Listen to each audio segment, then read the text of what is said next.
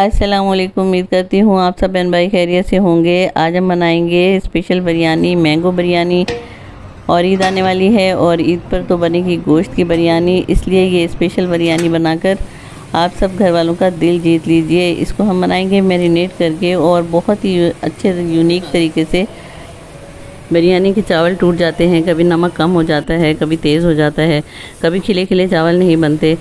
और कभी हमारी परफेक्ट बिरयानी नहीं बनती। अगर आपके साथ भी यही मसला है तो आप ये वीडियो ज़रूर देखिए। आपके तमाम मसले हल हो जाएँगे। आजकल कैरी का सीज़न है और इसलिए हम बना रहे हैं रा मैंगो बिरयानी। बहुत ही मज़ेदार, बहुत ही टेस्टी और चलिए, शुरू करते हैं। रहीम हमने इसके लिए लिया है एक के जी चिकन और तमाम इंग्रेडिएंट्स हैं जो कि हम इसमें इस्तेमाल करेंगे। हम इसको पहले मैरिनेट करेंगे। इसके लिए मैंने डाल दिया है एक टेबल स्पून नमक।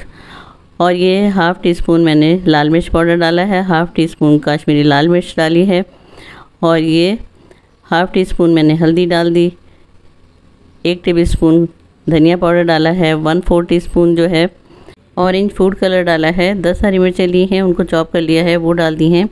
दो टेबल स्पून भर के मैंने लहसुन अदरक का पेस्ट डाला है और साथ ही हरा धनिया डालेंगे, आधी गड्डी और पुदीना भी डालेंगे, आधी गड्डी और ये एसेंस के पाँच से छः ड्रॉप्स डाले हैं मैंने। अगर आपके पास वाटर है तो आप एक से दो चम्मच डाल दीजिए।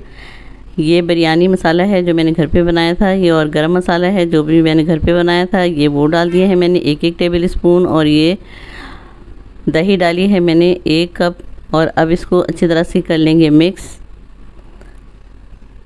इस तरह से अच्छी तरह मिक्स करके इसको 30 मिनट के लिए हम छोड़ देंगे मैरिनेट होने के लिए। और अब हम डालेंगे इस पर जो हम स्पेशल बिरयानी बना रहे हैं रा मैंगो मैंने दो कैरी ली थी और उनको छील लिया और उनको मैंने ग्रेट करके और मैं इसके ऊपर डाल दूँगी। ये जाएँगे मसाले के साथ और कुछ हम डालेंगे बाद में। इस तरह से हम करके इसको छोड़ देंगे तीस मिनट के लिए। और इतने हम दूसरा काम कर लेते हैं, एक देगचा लेंगे और उसमें डालेंगे एक कप ऑयल। और ये सूखे मसाले हैं हमारे पास। पाँच हमने हरी इलायची ली हैं, दो काली इलायची ली हैं और दस से पंद्रह काली मिर्चें ली हैं। हाफ़ टी स्पून ज़ीरा लिया है और चार बादियान के फूल लिए हैं, दो सिनेमन स्टिक हैं, दो बेलीव के पत्ते हैं और सात या छः क्लोव्स हैं। इस तरह से हम इसको ऑयल गर्म होगा तो उसमें डाल देंगे और थोड़ा सा क्रैकल करेंगे दो सेकंड के लिए और इसके बाद हम डालेंगे प्याज। प्याज को भी ब्राउन कर लाएँगे इस तरह का और इसके साथ ही फिर डाल देंगे हम मैरिनेट किया हुआ चिकन इसको अच्छी तरह से भून लेंगे पाँच मिनट के लिए। अच्छी तरह से मिक्स करने के बाद हम डाल देंगे इसमें टमाटर जो हमने चॉप करके रखे थे। देखिए।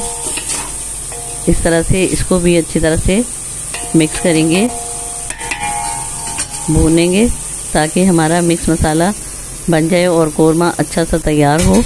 और मैंने जिस बाउल में मैरिनेशन की थी, उसको मैंने एक कप पानी से धोकर और इसमें डाल दिया है, क्योंकि उसमें मसाला लगा हुआ था।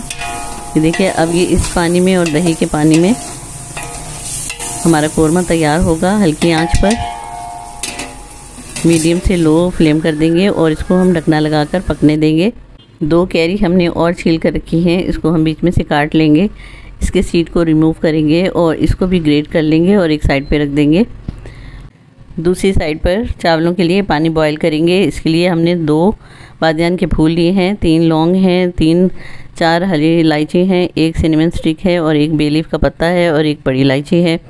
ये हम डालेंगे पानी के अंदर। अब ये देखिए, हमने चावल को 30 मिनट पहले भिगो कर रखा था तो इसका जो स्टार्च अभी देखा है तो निकल आया था। इसको वॉश कर लेंगे, दोबारा से साफ़ पानी डालेंगे और पानी बॉयल होगा तो जब हम चावल डालेंगे तो इसमें स्टार्च कम होना चाहिए ताकि हमारे चावल खिले खिले बनेंगे। अब पानी बॉयल होगा और इसके साथ ही हमने डाल दिए हैं ये सूखे मसाले और दो लीमू के टुकड़े और थोड़े से धनिया पत्ते डाले हैं और इसको हम बॉईल होने देंगे। इधर देखते हैं हमारा कौरमा, देखिए माशाल्लाह से कितना ज़बरदस्त तैयार हो गया है, खुशबू इतनी ज़बरदस्त आ रही है। माशाल्लाह माशाल्लाह से ये देखिए, अच्छी तरह से करेंगे मिक्स कौरमा हमारा हो गया है तैयार। अब इसमें डाल देंगे हम छः से आठ सूखे आलू बुखारे। इनका बहुत ही अच्छा टेस्ट आएगा। और ये हमने जो आलू बड़े टुकड़ों में काट लिए थे, इसको मैंने बॉईल कर लिया था थोड़ा सा ज़्यादा कलर डालकर, क्योंकि हमारे पास टाइम कम था, इसलिए मैंने इसको बॉईल किया। वरना तो हम मसाले में इसको गलाते, लेकिन मैंने इसको अलग से बॉईल कर लिया था। अब इसको मिक्स किया और हल्की आँच पर मैं इसको रख दूँगी। चलिए, अब हमारा पानी बॉयल हो चुका होगा और हम चावलों का पानी पहले ड्रेन कर देंगे और फिर हम इसमें चावल डालेंगे।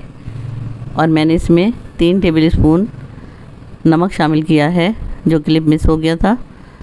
एक किलो के हिसाब से एक टेबल स्पून मैंने डाला है और यही बिल्कुल परफेक्ट होगा। ना कम होगा, ना ज़्यादा होगा, बिल्कुल परफेक्ट होगा। ये देखिए, दस मिनट हो गए हैं चावल बॉईल होते हुए और ये देखिए, मैं आपको चावलों की कंडीशन दिखा दूँ कि इनको आपने इस तरह से देखना है कि इसके अंदर एक वाइट सी लेयर नज़र आती है। जब वो थोड़ी सी ट्रांसपेरेंट होगी तो आप समझिए कि आपके चावल दम लगाने के कल लायक हो गए हैं और आप इसको फ़ौर से पानी में से निकालिए। और ये देखिए, मसाले में थोड़ा सा पानी था, उसके बाद हमने सारे चावल उसके ऊपर डाल दिए हैं। एक तो कौरमे का मसाला जो है, वो ड्राई नहीं होना चाहिए, उसमें थोड़ा थोड़ा पानी होना चाहिए, फिर ही आपका बेहतरीन सा दम लगेगा। और इसको हम चूल्हे पर से उतार लेंगे, अब एक पुराना सा तवा लेंगे और उसके ऊपर हम देगचा रखेंगे। आँच को हम मीडियम कर देंगे और ये देखिए मैंने चार टेबल स्पून इसके ऊपर ऑयल डाला है। चारों तरफ़ फैला कर डालिए।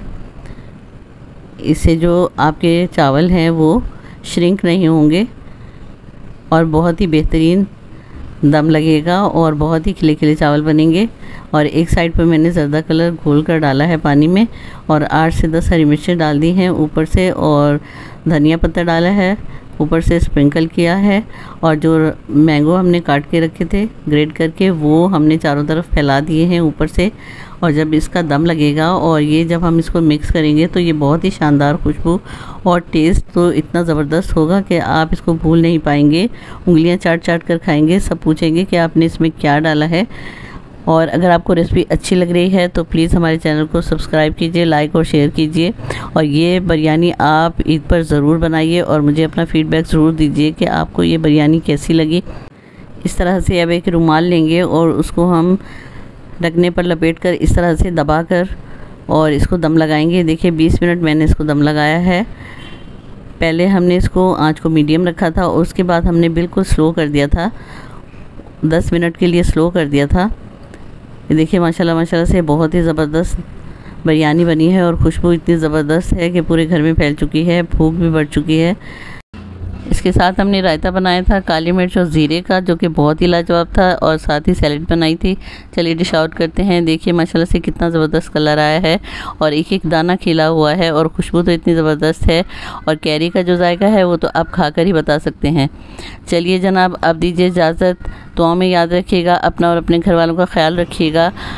अल्लाह ताला आप सब पर अपनी रहमत, बरकत नाजिल फरमाए। आमीन सुमामीन अल्लाह हाफि